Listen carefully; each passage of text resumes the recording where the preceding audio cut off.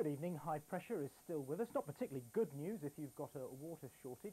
However, better news for sun lovers because although it started off life as a rather cloudy high, as you can see in the satellite sequence behind me, we've got some good breaks developing in that cloud blanket now. The high pressure is actually centred just to the uh, north of us and overnight tonight there'll be a, a small high cell developing over Scotland. Now that'll mean that we'll keep this northeasterly drift in off the North Sea so some of those holes in the cloud will fill in overnight tonight.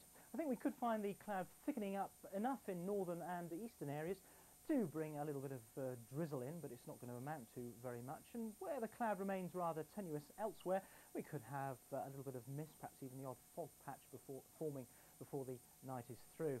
Now underneath that more tenuous cloud it could turn out to be quite a chilly night with temperatures as low as 6 or 7 degrees but underneath the cloud sheet I think probably temperatures staying very close to double figures.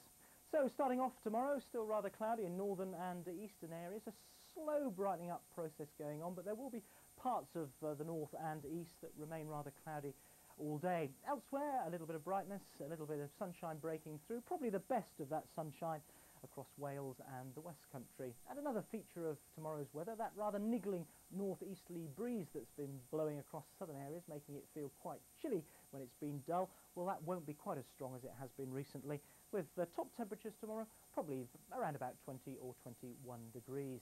Now looking a little bit uh, further afield, this rather nasty looking blob of cloud out in the Atlantic is an area of low pressure. That's moving northwards and that will have the effect of intensifying the high pressure over us. So it's going to stay with us through the weekend. However, a weakening weather system will run around its northern and eastern periphery.